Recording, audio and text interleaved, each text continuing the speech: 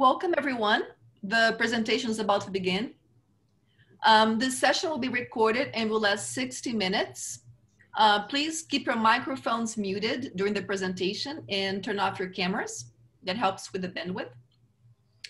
If you have a question or comment, enter it in the chat, which is at the bottom of Zoom at the bar at the bottom. Um, and your question will be addressed by the presenter at the end. If you are on a phone, you will be given an opportunity during the Q&A time at the end to voice your questions and comments. All participants in today's event will have access to the recorded version, which will be available within a week after this live event and posted to the TESOL YouTube channel. So TESOL International Association's Applied Linguistics intersection is pleased to present this webinar titled Teacher Identity, Awareness in Critical Autoethnography. Our speakers are Kristen Lindahl and Bedrettin Yazan. We're very pleased to welcome all of you to this webinar. My name is Bahie Hardaker and my colleague Polina Vinogradova and I will be mod your moderator for today's event. And now it is my pleasure to introduce today's first speaker, Kristen Lindahl. Great. Thank you so much, Bahie and uh, Polina, for having us here with you today. We are um, so excited to be able to share a little bit of our work and also collaborate with all the amazing TESOL professionals here uh, from across the world. It's always so amazing, I think, to see all the locations that everybody is joining us uh, from. So welcome, and uh, we hope you enjoy it. As you mentioned, our topic is on language teacher identity awareness and critical autoethnography. And uh, obviously, all three of those topics are very large and probably too, too large to do adequate justice to in only 60 minutes, but we will try our best. Uh, we would love for you to put any questions that you have in the chat. Um, I know our colleagues in the Applied Linguistics intersection will um, help us moderate those. And so um, when we have some times to pause during the presentation, uh, we will address those um, as we can. So with that, we will get started. Um, I am a professor of TESOL and applied linguistics at the University of Texas, San Antonio. So hello from South Texas. And um, like I said, it's great, great to be with you all today. Um, so our sort of larger essential question that uh, informs both this webinar and a lot of the collaboration that Dr. Yazan and I have done over the last couple of years has to do with how can identity-oriented approaches inform language teacher education pedagogy? So we know that uh, there is uh, very extensive research on language teacher identity uh, as a research framework. But uh, in terms of our own approaches to pedagogy, we wanted to know how can these identity-oriented lenses inform what we do in teacher education classrooms. So um, an overview of our webinar today. First, we'll provide um, sort of a summary of the research background uh, via 10 arguments about language teacher identity work in the research space. And then I will discuss some current research that I've done via some empirical mixed method studies on identity and language awareness, and then how ultimately they connected me to incorporating these, uh, these activities into teacher pedagogy. And then uh, will follow up with connections to critical autoethnography and share with you some of the ways that he has implemented uh, that method, as well as some of the challenges and lessons that he feels he's learned via implementing uh, that in his own courses. And then we'll end with some questions and comments.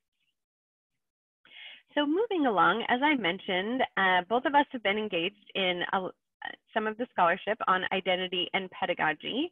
And as specifically with our own co-editing activities, uh, first I wanted to mention our TESOL Journal Special Issue 2019, which if you are a TESOL member, that is actually a member benefit that you have uh, access to that online journal. So in our special issue from 2019, which is volume 10, issue 4, uh, it's entitled An Identity Oriented Lens to Teachers' Lives. And so, really, our proposal in this special issue was uh, not to replicate the identity research work that had already been conducted via other special issues in journals such as Modern Language Journal and TESOL Quarterly, but we really wanted to seek and um, amplify articles that showed how identity-oriented approaches could be implemented to pedagogy. And so this special issue really focuses on how, um, you know, identity in all of its like you know, mul multiplicitous complexities really contributes to the way that teachers um, enact and embed their identities in their classroom situations, whatever um, that kind of educational context may look like. Another uh, place that you will see some of the scholarship on identity and pedagogy was actually included in the TESOL Journal and TESOL Quarterly special joint issue um, from summer 2020 on race identity and English language teaching.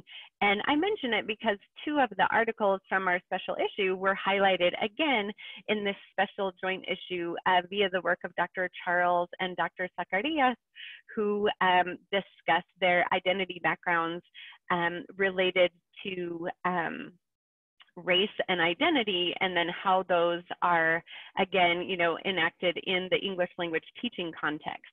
So i wanted to amplify those voices again. And then our third project um, well the second one wasn't our project but i wanted to amplify the contributing authors.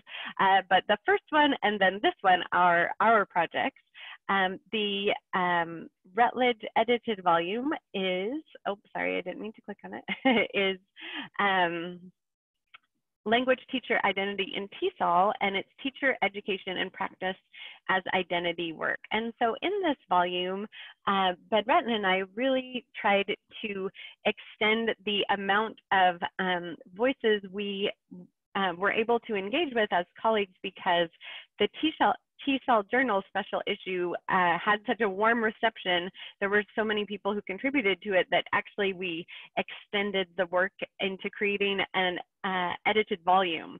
And so in the volume, um, you'll see approaches to teacher identity work in narratives and writing, um, work in multimodal spaces, which is very salient now that so many of us are online um, identity work vis-a-vis race, ethnicity, and language, um, teacher education, and then teacher educator research practices, which is some of what we'll also talk about today.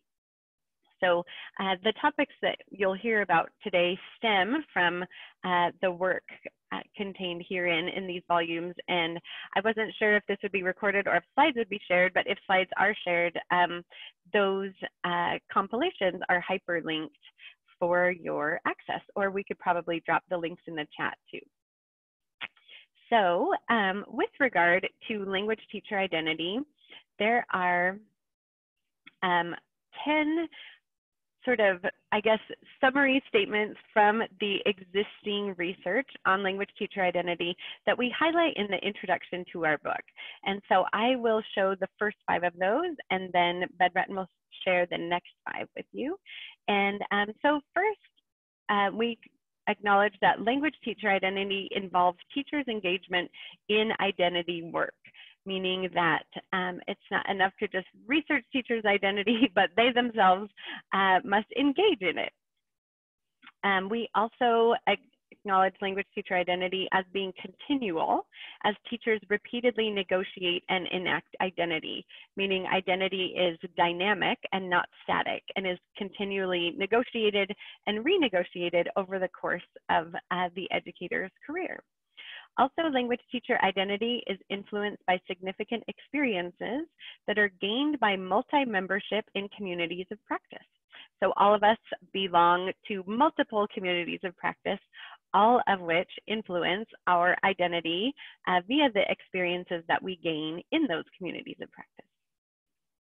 Also, language teacher identity is key to the transition from student to teacher, wherein candidates, so teacher candidates, are introduced to the imagined communities of practice to which they feel belonging or seek membership.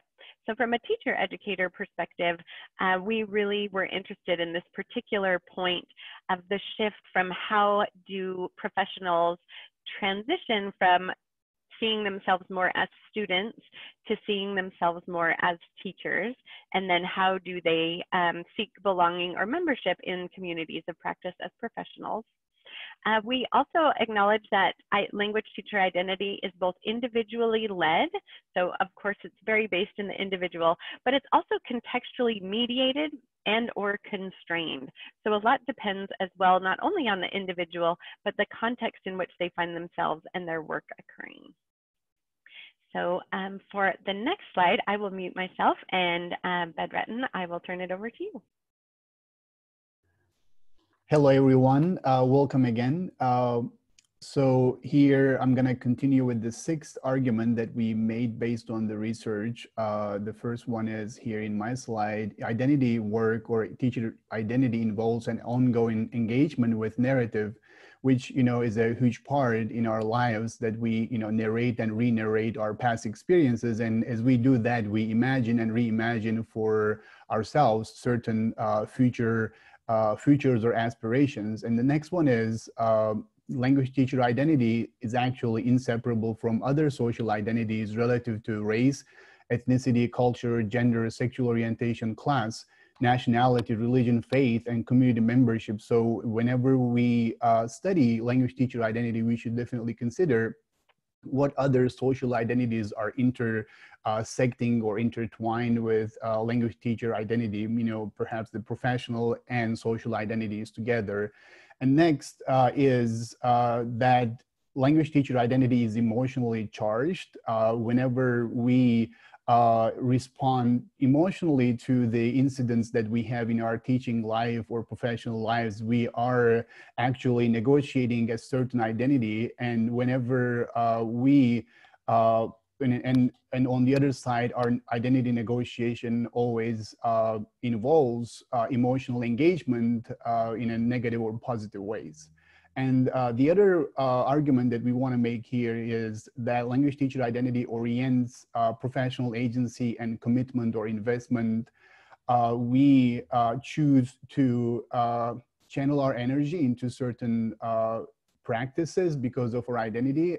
And as we do that, as we assert agency and commit our energy and efforts to certain practices, we at the same time negotiate our identities and the last one is uh, teacher identity consists of continuous attempts to mediate and negotiate contradictory sources of identity. That uh, I think we purposefully left this for for the last uh, argument because you know identity is contradictory that we need to accept at the very beginning uh, for our own identities as teacher educators and researchers, but also for our uh, teacher candidates' identities and, and the you know, identities of teachers that we're working with, uh, we are gonna come across a lot of contradiction, which would lead to some tension uh, or dilemmas and conflicts, but also uh, is really related to emotions as well.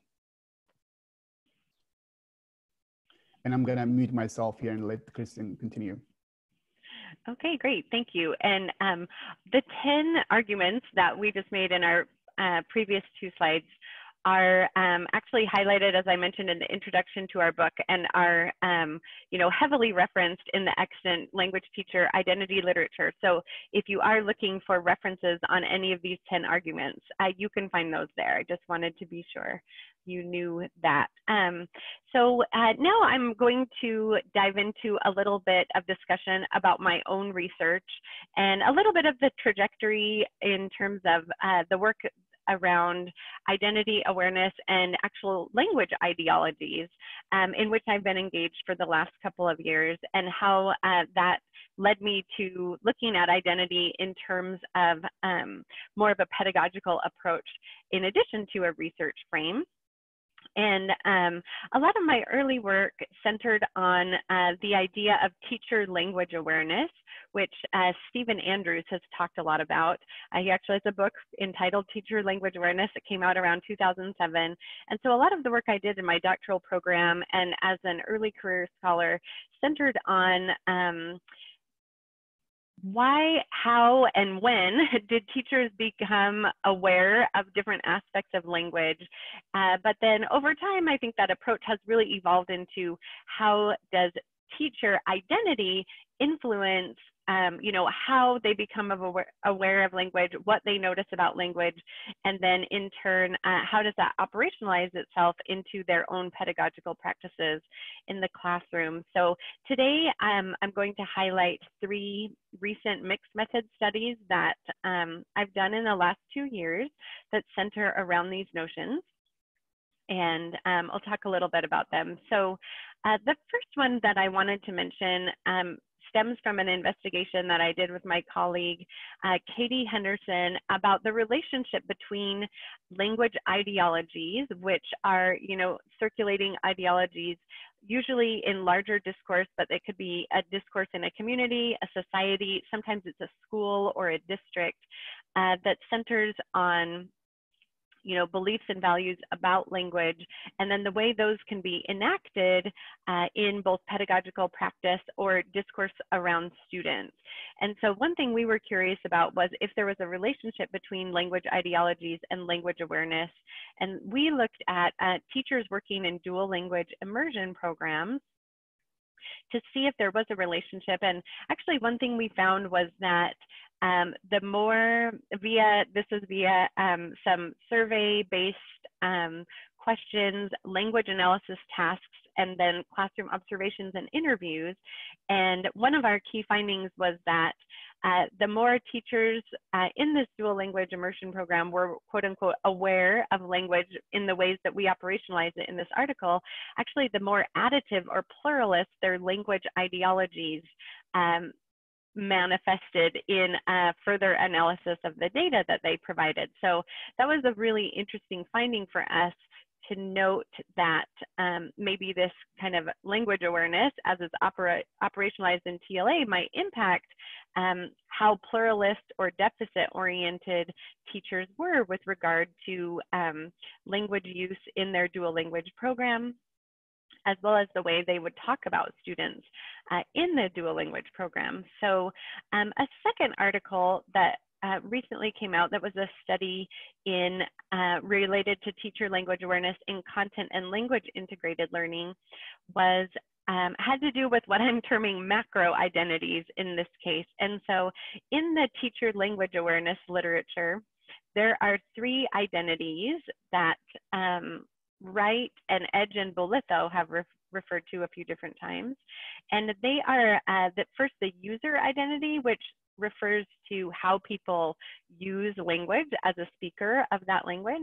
Uh, the second identity is that being able to analyze language. So there's an identity that as language teachers we all have in being able to analyze or sort of step outside of our use of language and be able to analyze maybe how or why people are using language the way they are.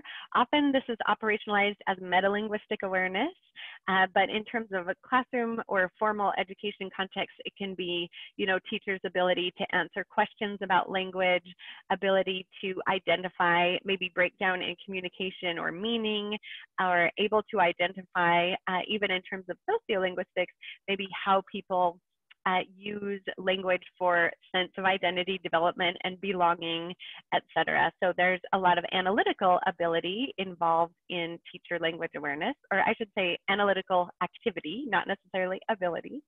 And then the third sort of macro identity in the earlier teacher language awareness literature had to do with your identity as a teacher. And so the idea was that, or is that professionals with um, developed teacher language awareness sort of have intersectional identity as users of language, as analysts of language, and as teachers of language.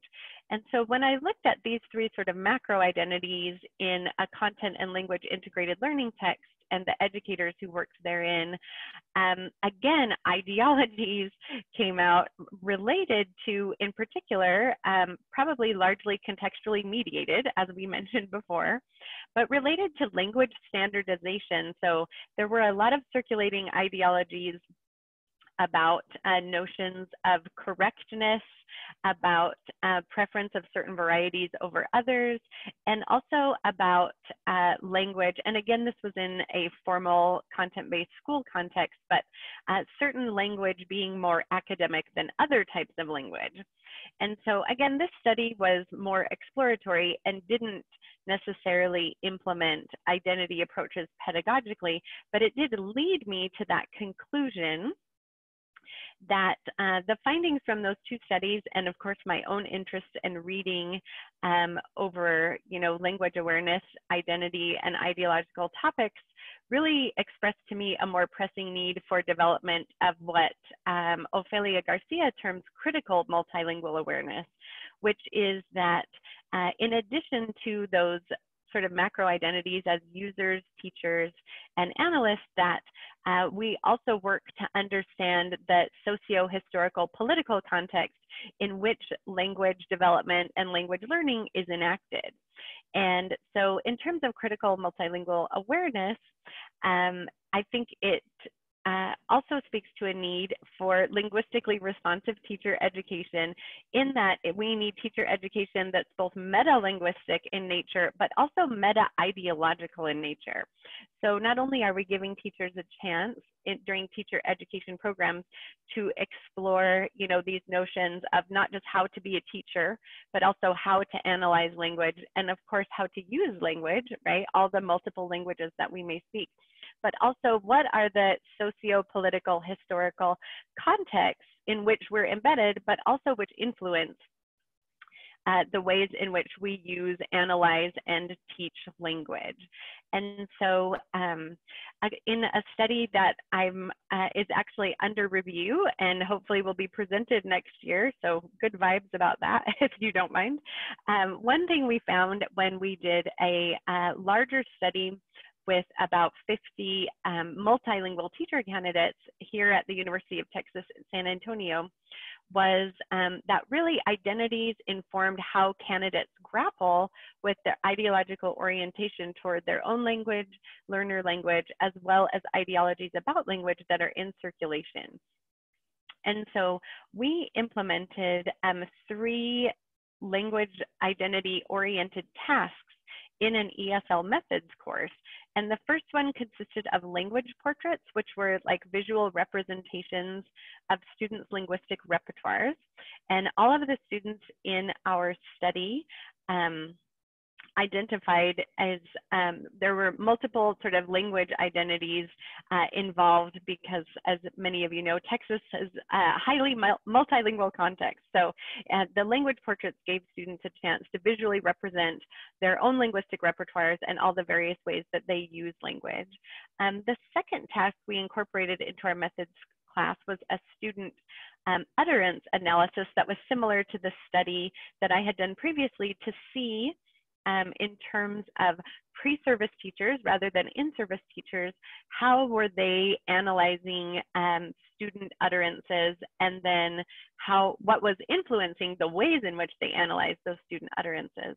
And then the third task that we incorporated was a language ideology tree task, which again gave students a multimodal um, avenue for identifying in the tree, they had to talk about like what's a language ideology, for example, um, an idea, a pluralist ideology might be like multiple languages should be welcomed in a classroom. And they would write that on the trunk of the tree.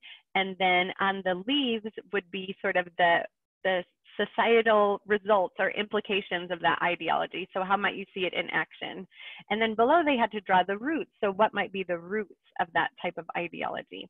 So the three tasks I think enabled some multimodal engagement with uh, these three things as, in terms of expressing their identity um, and their linguistic repertoire, given, getting a chance to um, work with some imagined student language and student utterances, and then also exploring the way that language is in use in societal circulation. And so what we found was that implementing these identity-oriented tasks in our language teacher pedagogy really presented some opportunities for developing heightened ideological clarity among the teachers. So um, in addition to um, you know, teaching strategies and uh, a lot of the how to with pedagogy, the argument that we make is um, impl the implementation of these identity oriented tasks really gives teachers a chance as they are developing their professional identity to reflect on language ideologies attitudes and beliefs that they might hold, and then recognize the implications of those as they move into the classroom. And so um, I've presented uh, some studies that deal with identity, I think on some larger um, levels, kind of like a, a, macro level, as I mentioned. And at this point, I'm going to turn it over to Bedrettin, who will talk about a method, uh, critical autoethnography, that really looks at identity on a very individual level. So you kind of get a balance of both um, approaches to that. So I will stop sharing my screen, Bedrettin, and uh, you can share yours, and we will continue.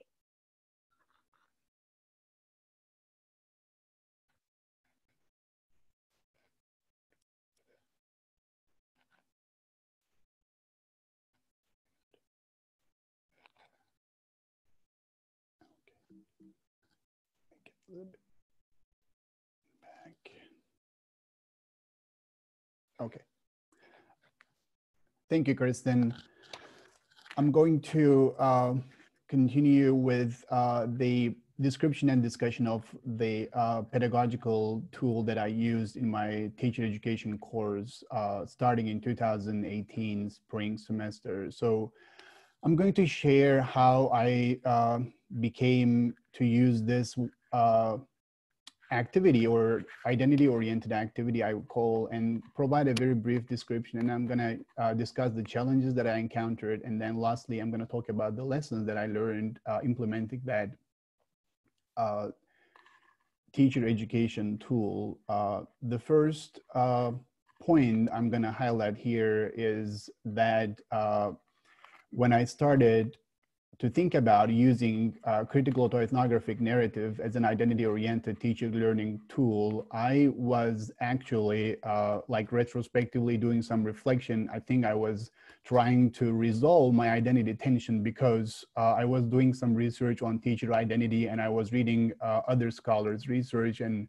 I realized that uh, every research study ends with an implication that identity should be part of our teacher education practices and reading that uh, and also uh, seeing that my research also has the same implication, I was asking myself as a teacher educator, am I doing that? So I think that tension between my identities uh, like as a teacher educator and researcher, I wanted to somehow align uh, or see some consistency in my identity. So I thought I should uh, design uh, a teacher identity tool to use identity as a framework for teacher education practices. That was my goal to begin with when I started thinking about critical autoethnographic narrative. And I designed it as a program-wide uh, tool or program-wide uh, activity uh, in which students or teacher candidates start writing uh, a narrative at the beginning of their uh, teacher education program and they continue working on that specific uh, narrative as they take courses until the end of their uh, teacher education program is you know that's the ideal way we could implement but it's you know it's very idealistic too.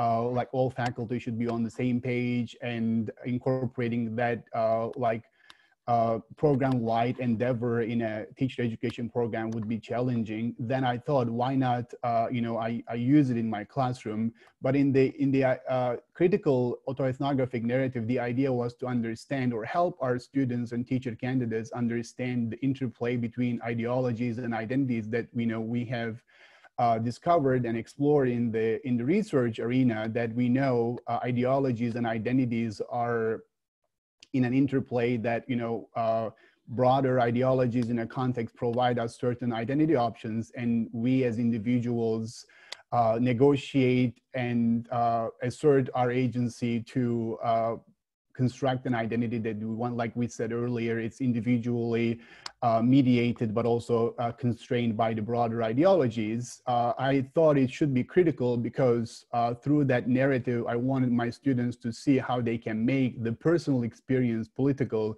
Uh, like in uh, critical pedagogy, education is, is a political endeavor. So I wanted my students to realize that in their own lives, how their own identities are closely interrelated with the ideologies in their context, which also is about their practices for future uh, teaching uh, jobs.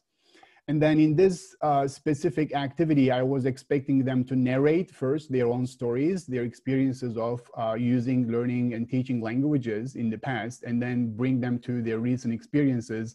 And at the same time, analyze those experiences to see the, uh, the way ideologies are uh, trying to shape our identities and the way we are pushing back to those ideologies, the, that interplay between ideologies and identities. Uh, then uh, to provide a very brief uh, description uh, about the way I used it uh, in my class, I incorporated like four installments. Uh, and it, after every installment, I provided them, you know, written feedback through Word document, uh, comment boxes, and then we had one-on-one -on -one meetings. And I had six students. I was really lucky, and it was really um, doable uh, to uh, work with every student, uh, meeting them four times across the semester just to talk about their progress in their critical autoethnographic narratives. And then I brought in some uh, in-class uh, data analysis activities. I, I, I, was working on some other research project and I, I just took some data and then we analyzed them in the classroom. And then I let them co-construct their own uh, rubric for this assignment. They, they paired up and they created a rubric and they gave me the rubrics and I, uh, I just put them together and constructed uh, an overarching rubric uh, for the class. And then at the end of the uh, semester, they presented their uh, assignment to their peers. So the challenges, I, I had several challenges and they were all opportunities for me to learn more implementing uh, critical autoethnographic narrative. So it was my first time using an assignment in 2018 spring and I really wanted to pilot the, the program-wide idea in my course. And I didn't know exactly what I was expecting uh, or what, I, what my students or how my students are going to respond to uh, my you know um, activity, my new activity, because uh, it was uh, unconventional uh, as an activity, asking students to engage in uh, such uh, you know big scale narrative writing and using a methodology, a research methodology as a as a teaching or teacher education tool or teacher learning tool. That was uh, that was my first time using it and it had a lot of uh, challenges because of that. I, need, I needed to spend a lot of time preparing, designing, and uh, giving a lot of uh, feedback to my students. And I also had challenges to connect the uh, nature of the activity to the course content. The course was linguistics for classroom teachers.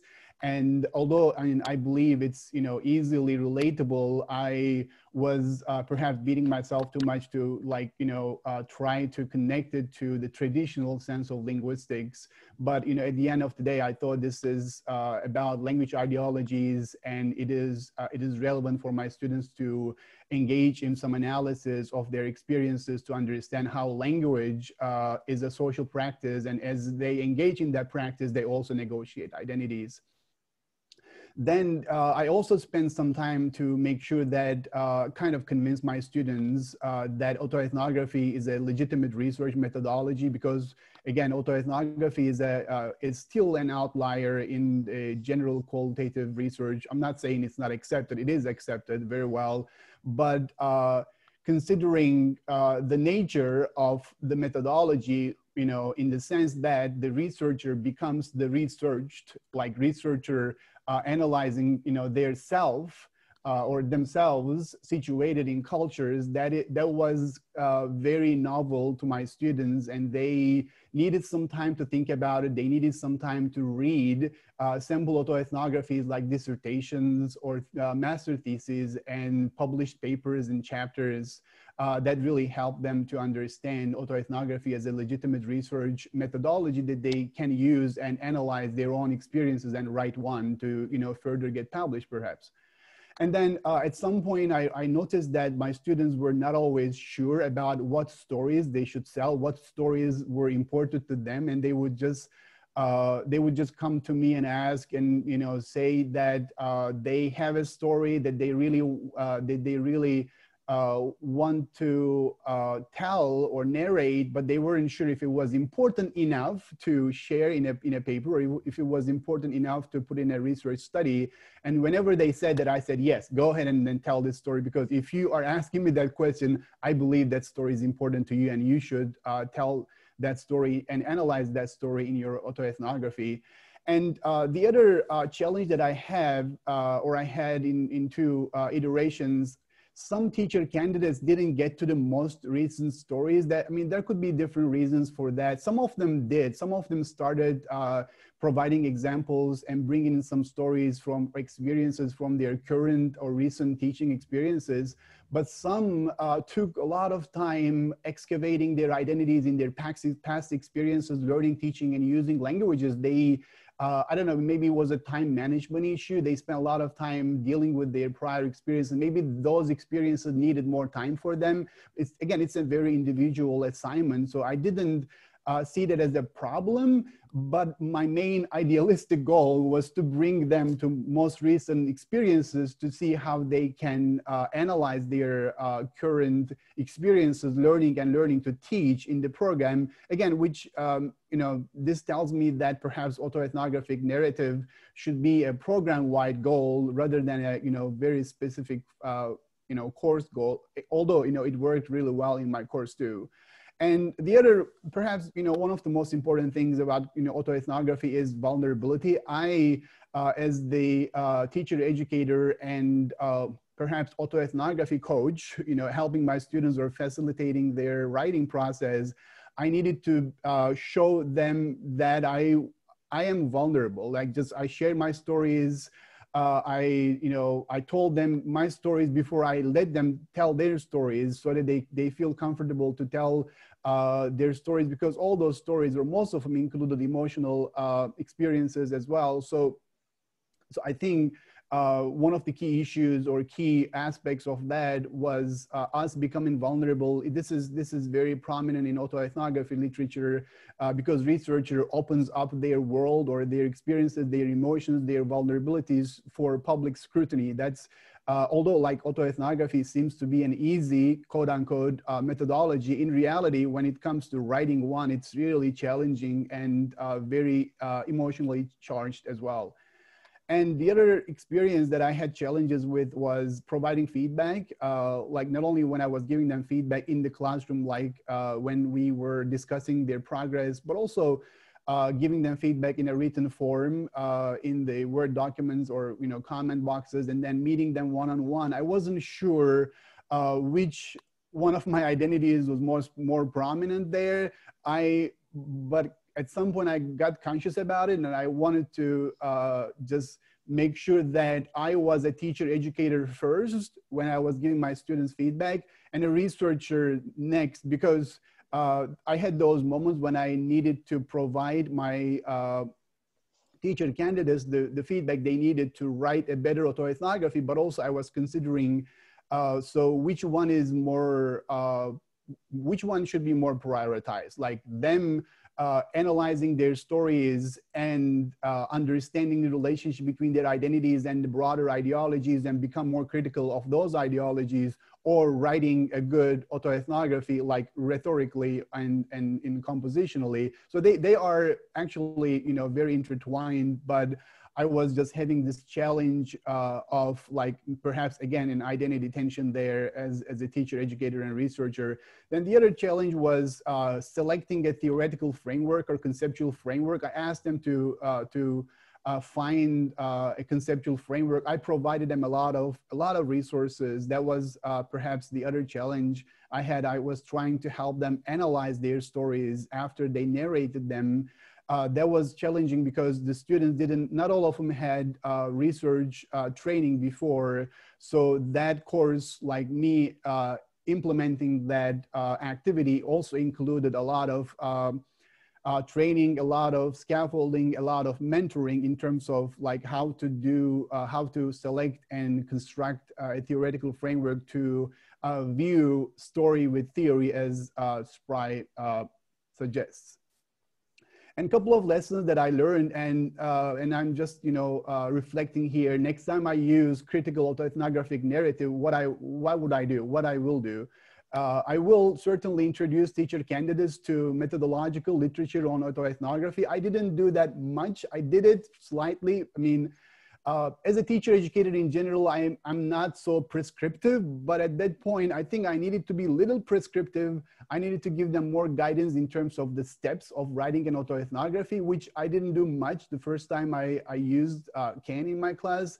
And the next time I will definitely do that, give them more guidance and, and more uh, uh prescriptive uh, steps to uh, work. And then Chang's work is really uh, interesting and very uh, solid work on autoethnography. And perhaps I, I, will try using collaborative critical autoethnography, grouping students, uh, like two or three of them, uh, and have them work collaboratively to, to write an autoethnography because collaborative autoethnography has its own uh, methodological affordances as people, uh, the autoethnographers, as, as they write their stories and talk about their stories and discuss those stories with their peers, that dialogic uh, conversation uh, is very rich, I believe. So perhaps I can try that next time. And uh, I was going to do that. That was my main focus. But again, I was, you know, too ambitious perhaps.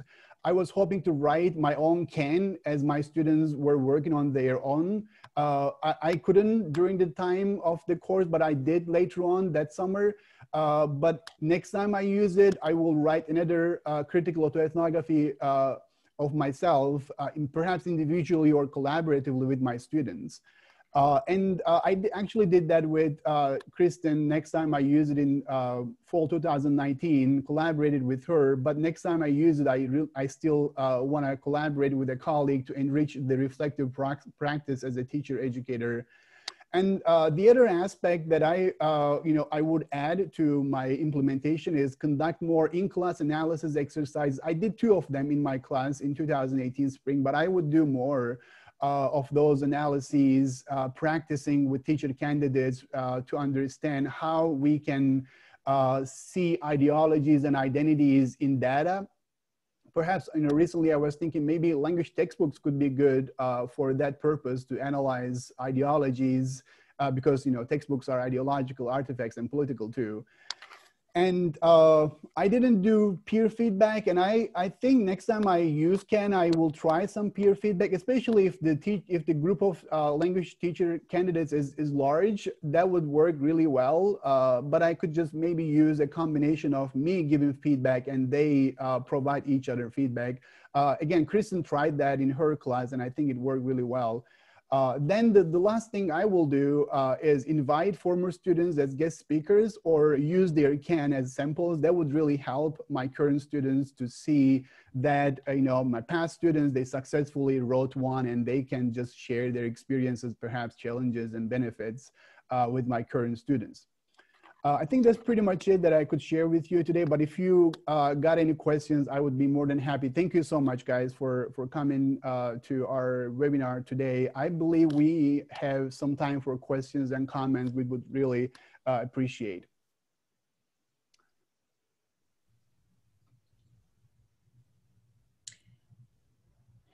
Yes, thank you, Dr. Yazan and Dr. Lindahl. Um, we're going to start the Q&A session now. Polina Vinogradova is going to moderate the Q&A.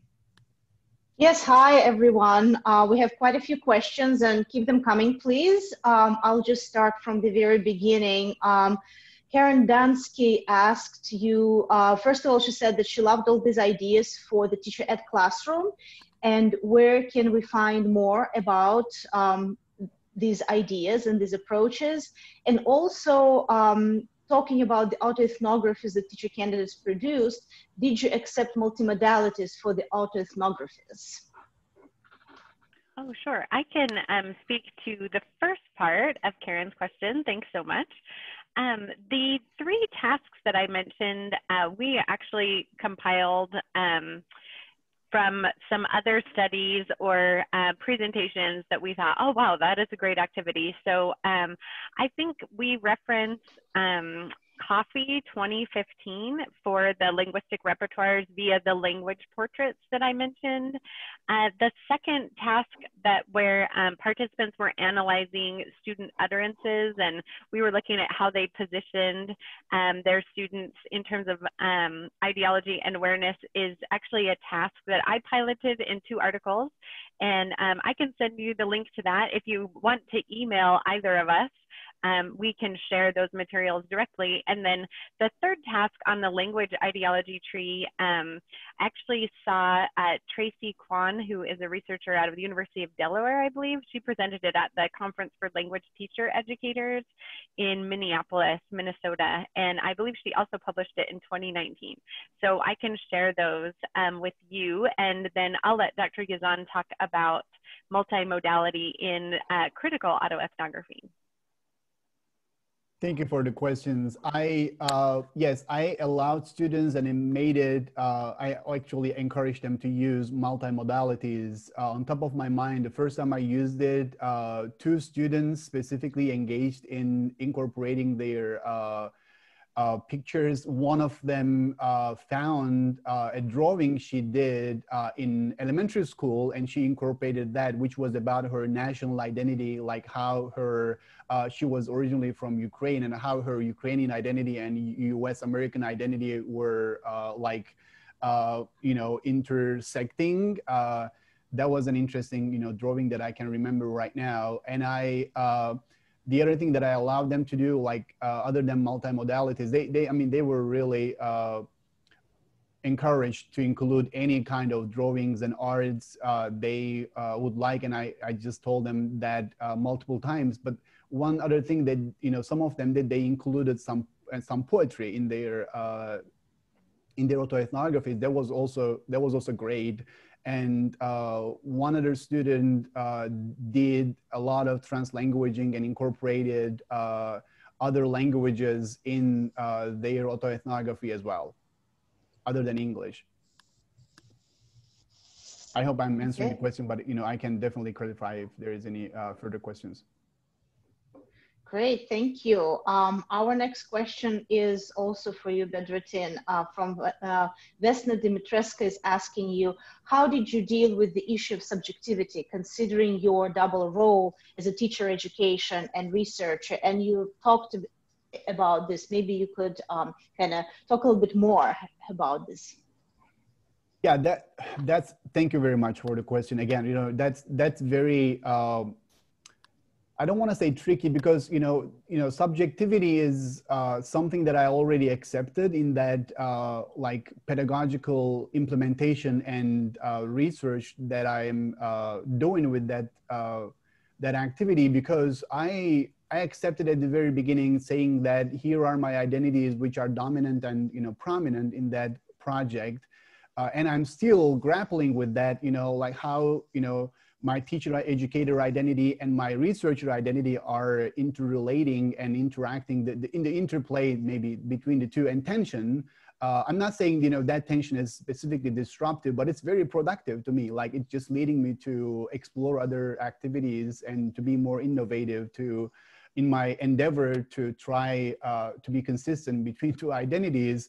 But subjectivity is always a i mean it's it's a great you know point uh, it's always an an aspect of this activity that I am going to keep reflecting on. It's going to be my source of reflection. So who am I? What am I in this, you know, activity? How am I helping my students? Especially like, uh, in, I, I, wrote this chapter recently, and in that chapter, I looked at my feedback sessions with one of my uh, teacher candidates. Like, how did I give feedback?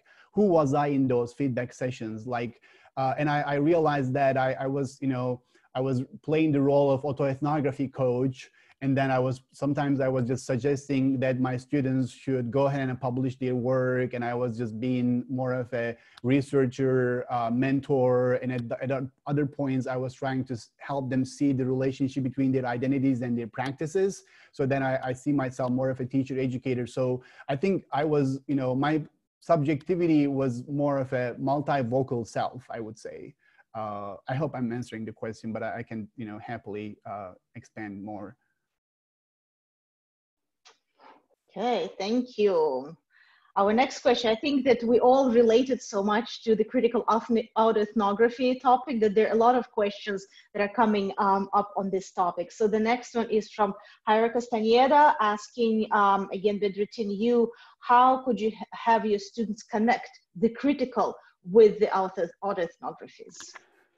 Fantastic question. Really, that's another challenge of mine I had because I was so like autoethnography as a methodology, depending I'm not going to get into that conversation because it could just lead to uh, a very lengthy uh, discussion. But like in essence, autoethnography, depending on who you are reading, autoethnography is supposed to be critical, right? But then there is this strand of research which is uh, like naming their autoethnography is critical per se and specifically critical. So the the challenge that I had was uh, how can I make it critical when it comes to a teacher learning tool? And my uh, like justification to myself and to my students was the way uh, they understand the broader uh, ideologies work in uh, shaping their teaching context, shaping their, you know, even their teaching, shaping their textbooks, shaping whatever they're learning in the teacher education program. I wanted to highlight the, uh, the, the focus of ideology and how ideologies and identities are intersecting that that way i wanted to create this critical aspect and also i was you know uh, thinking that you know every um, effort for education is political, especially in our neoliberal uh, economy. That you know, uh, like ideologies all are you know shaping the way we teach, the way we educate our uh, you know next generations. So understanding education as political and ideological, I think that was the the critical point, uh, and also me critically reflecting on my own ideologies because the fact that I included critical autoethnography in my teaching or teacher education purposes was also ideological because I value critical autoethnography as a teacher learning tool. So it was a you know two way or maybe you know ideological and critical in different, uh, in different senses. Uh, again, I hope I'm answering your question, but yeah, criticality was certainly focused on understanding uh, ideologies like the macro level and the meso level ideologies and how we grapple with them as we negotiate who we are as, uh, as professionals.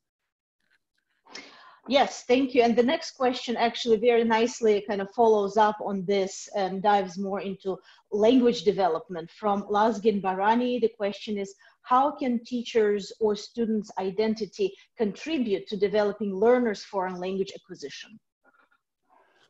Another great question, really. Uh, so that uh, interaction, I think Jenelle Reeves uh, has research on that and Sue Motha as well, like how teachers' identities interact with students' identities and students' uh, language learning.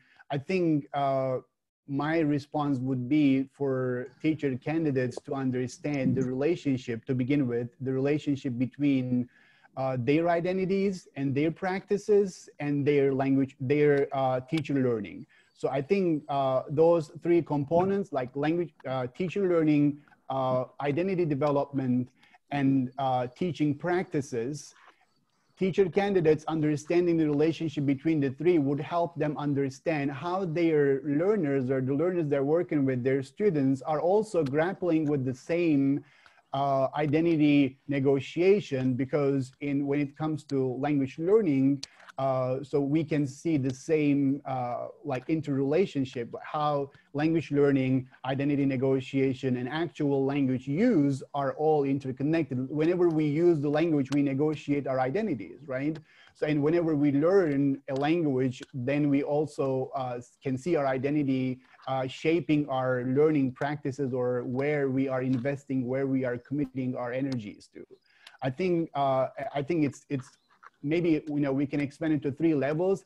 At the teacher education level teacher educators us should understand how our identities and practices are uh, like in symbiosis. They're shaping each other. They're in a complexly related. And teacher candidates at the at the second level they are also uh, supposed to understand that relationship between identity and practice and learning, which would help them understand how they their students uh, are grappling with identities and ideologies as they learn uh, a new language in a context. Thank you. I think, yeah, this definitely highlights the complexity and kind of multi-layeredness of this topic and interconnections between identity and language development. And there's another, um, I'm going to jump to, to a, another question that comes a little bit later, but very much related is the um, participant, um, okay, um, Maniram Sharma is asking you about uh, promoting of language awareness in a multilingual context and how um, kind of a teacher, an ESL teacher can, an English teacher can do that as well. I think I'm going to let Kristen answer this. Okay, sounds good. Thank you for the question. And um, with regard to um, promoting language awareness in multilingual context, uh, actually those are often ideal contexts to promote multi, uh, multilingual language awareness. So um, there are lots of different ways. I think first it has a lot to do with sort of what Vedret was just talking to us about, kind of the embodiment of identity and in um, sort of seeing language as like an object to be studied.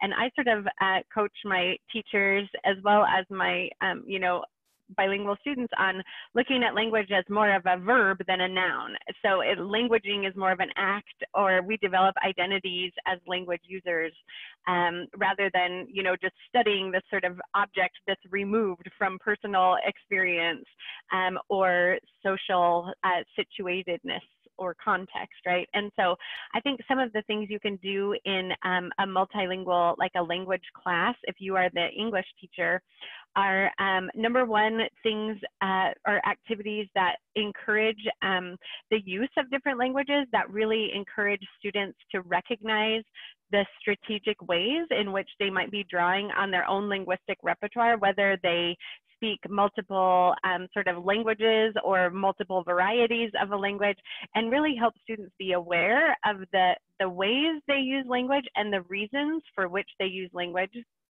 And also uh, the the same thing would apply to you as a teacher to model those types of things.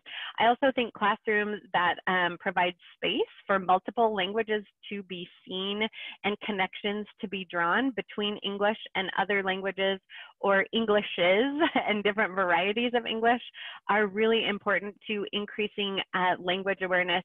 So students aren't just learning like, you know, facts or items of English or about English in isolation, but they're seeing the connectedness among uh, English and maybe the languages that they speak or the varieties that they know. So there are a lot of different activities um, that can be done. I think especially with online, um, you know, resources or peer activities, but in, I think encouraging this notion of, um, you know, multiple languages in use in a context is a lot more accurate to how our lives actually are than language separation, which looks at one language over here and another language over here. So I think the short answer to that question is enabling your students to make connections between and among languages and language varieties, uh, one of which, of course, if you're teaching English, is English. So, answer to that. Thank you. Um, there are a lot of questions. There are a number of kind of questions asking, uh, Bedrettin, for example, have you written your own critical autoethnography? What type of questions can be used to scaffold teacher candidates? And I, I really want to acknowledge these questions, but since we have just two minutes left, I would like, there are two overlapping questions um, that I think both uh, Kristen and Bedrettin can speak to. They seem to be kind of like robust questions. So I would like to pose those uh, together. There's a question, uh, both of these questions have to do with power and issues of inequality and how when we talk about identity negotiation and identity positioning, we deal with issues of power and inequality. So um, Castanier is asking a question, um, how would you deal with power issues in case you want to do some collaborative autoethnography with your students. And there is a question that very much overlaps that comes from uh, Albert Beale saying that identity research often looks at inequalities. Can this research be carried out by me uh, in quotation marks, a privileged white male, or is it not my place? So how can, would you, um, our experts on identity negotiation, its complexities, how would you respond to um, these um, nuances, these questions?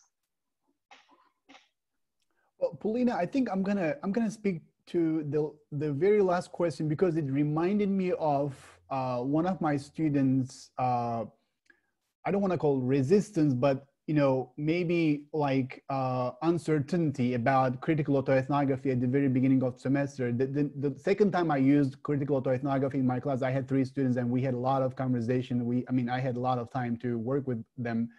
Uh, like one student specifically, she was uh, taking her time to start and she was, you know, she kept asking me questions uh, very similar to the last question you mentioned, like, uh, like critical autoethnography, is that a methodology uh, which could be used by uh, the populations or minoritized, marginalized populations only? I think the, the answer to that is, is no. Uh, I mean, critical autoethnography or autoethnography in general provides the space discursively and experientially, the space for researchers and practitioners to uh, discuss the power and equality or ideologies in a context or different contexts or cultures. Uh, but it's, I mean, but it also uh, is a methodology that anybody can use, uh, regardless the uh, the privileges anybody or any researcher practitioner can use autoethnography to discuss those inequalities from their own perspective. Uh, I think, uh, I, I, don't think critical autoethnography is uh, delimited to the uh, you know, populations who are minoritized and marginalized uh, in cultures. Uh, I, and that, at least that's how I convinced my student to keep writing, and she did, and she, she kept writing about and she she took those experiences from her past and how she was working with. Uh, uh, she was interested in uh, language enclaves in New York and later on in, in the South. But you know, she she used her experiences there to highlight how, uh, like the other question mentioned, like how power and inequality is uh, function or operate through that through ideologies and discourses in our communities. I think I'm going to let Kristen to to take another stab on the other questions, but I can just uh, happily talk more. No, I think um, I don't know if there's much we can add.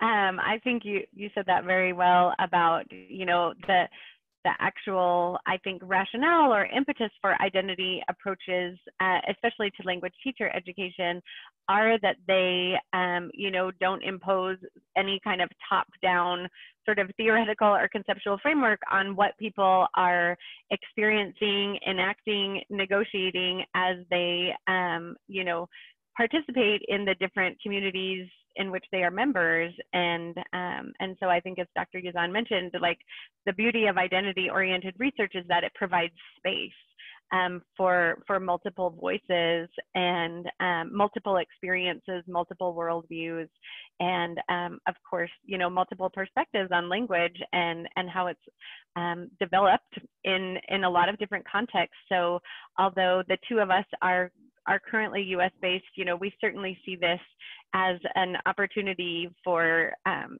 TESOL professionals, regardless of context, to, you know, it's a really interesting challenge to take some of this and apply it in your own context and um, and see what your findings are. And I think one thing we have really benefited from in our own experience has a lot to do with our own reflective practices as teacher educator educators and that layer that exists that you know it's not just teachers who need to examine their identity related to how they enact um, that those identities with their students.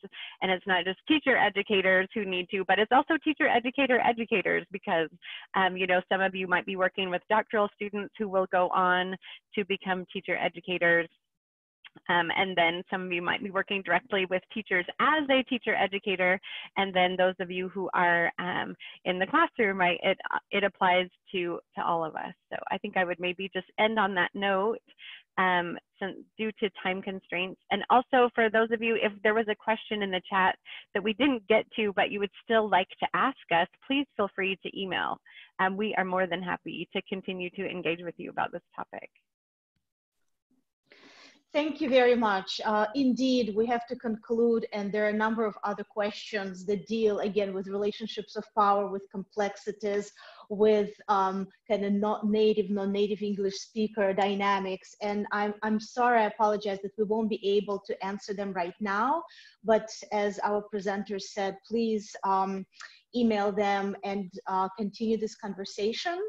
Um, we are also happy to say that our series of webinars focused on TESOL teacher identity development continues and there will be another webinar coming in October. So please uh, stay tuned.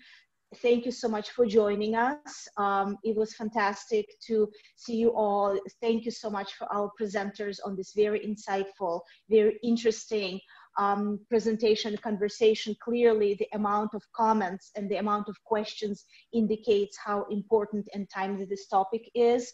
We had almost 120 participants today, which is from all over the world, people who also didn't sleep at night, uh, who for whom it's 10 p.m. and midnight and later in the night who joined us. Thank you all so much and have a fantastic weekend and we hope to see you soon in our future webinars.